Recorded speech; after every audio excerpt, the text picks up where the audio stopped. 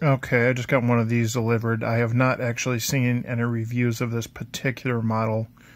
Uh, this is only about three months old. I guess it first came out, so I'll just do a quick overview of this.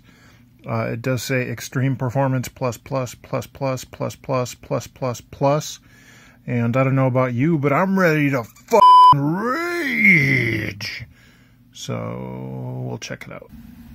All right, so this does have the uh, slider so uh, there's no cap; it just slides like most. I think most of the other models, uh, all, most of the other Patriot style ones do. So uh, we'll do some speed tests here, and then a real world transfer. I'm going to going to use a 20.7 gig folder. I'm going to copy over to the drive. Um, and these are all video games that I 100% legally own, of course. So lay off me. And uh, so we're going to start the transfer. This is a folder containing 20.7 uh, gig of files. So let's get it started.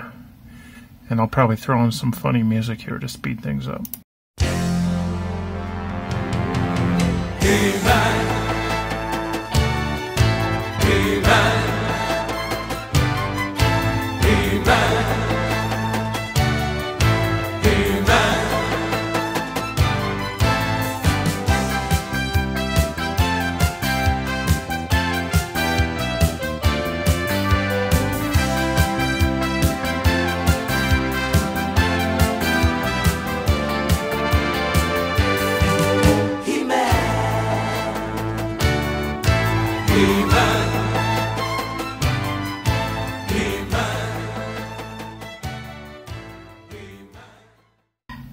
Okay, this took about four minutes to complete. Again, that was 20.7 gig of files. Uh, average between 80 and about 95 uh, on the top end. So.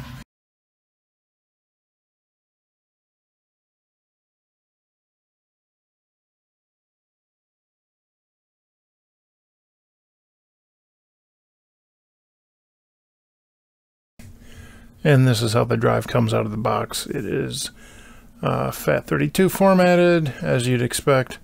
Uh, looks like it eats up about 15 or 16 gig uh, just by default. So the actual space is around 230 gig uh, instead of the 256 that you'd expect.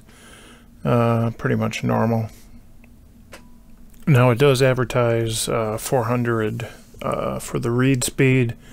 Uh, I didn't get anything really close to that. I got about uh, 230 to 240 uh, it topped out at uh, for the larger files. And then, of course, just like pretty much every USB stick, it kind of slows down once you get to the really small files, which is kind of irrelevant. So uh, if you're new to this particular benchmark, don't worry about that green line going down because that's pretty much every uh, that's pretty much every USB stick out there the write speed uh, looks like it topped out around 94 uh, at its at most, and usually hovered more around 50 uh, prior to that. And then again, for the really small files, it uh, went way down. But again, that's not unexpected.